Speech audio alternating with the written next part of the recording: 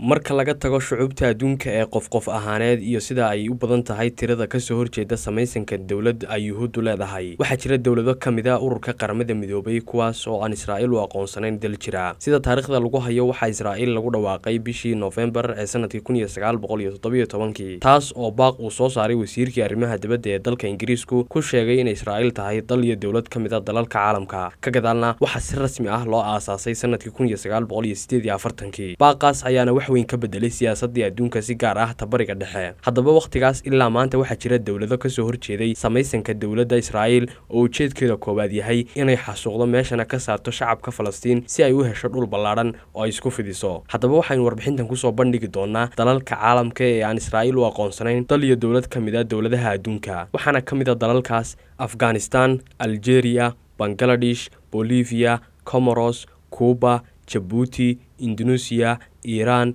ciraaq kuweyt lubnaan libiya maleeshiya maldafis maali muritaaniya waqooyiga kuriya cumaan bakistan qatar sacuudi carabiya soomaaliya siriya tunuusiya venezuela iyo yemen. Marka laga reebo afar wadan oo kale ah bolivia cuba waqooyiga kuriya iyo venezuela waddamada aan aqoonsanayn israa'iil ayaa u badan muslimiin. Ciraaq lubnaan iyo suuriya weligood ma aqoonsan israa'iil oo cadow ayay ahaayeen mar walba. Iiraan sidoo kale ma aqoonsana israa'iil laakiin waxa ay ka mid ahayd dalalkii ugu horreeyey ee aqoonsaday israa'iil kolkii la sameeyey sidoo kale kuuba waxay aqoonsatay israa'iil kun iyo sagaal boqol iyo afartankii laakiin waxa ay go'aankeeda bedeshay kun iyo iyo saddexdii waxayna si firfircoon u taageertay masar iyo suuriya. Dhinaca kale qaar ka mid a dalalka muslimiinta u badan oo ay ka mid yihiin masar urdun iyo imaaraadka carabta ayaa xidhiidh caadi ah la leh israa'iil. Si kooban marka la qiimeynayo boqolleyda dalalka aqoonsan dalka falastiin waa labiyo toddobaatan boqolkiiba xubnaha qaramada midoobay. Halka israa'iilna haysato siddeetan iyo shan. Isxaaq cukaashe c b a t v.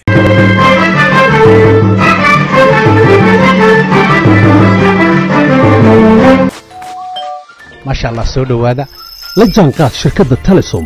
Maxmil waxay kuu diyaarisay adeegga internetka ay faibar optiga kaasoo xawaarihiisu kala go' lahayn waa guji waa ishaa biligteeda intuu soo gudlanayo hadalba gam hagarle ii ku isticmaal sochial midiyaha kuna daawo wararka cayaaraha iyo onlaine geemiska haddaba maxmil soo gasho gurigaaga xafiiskaaga iyo goobtaada shaqo fadlan nagala soo xidhiidh nambarka gaaban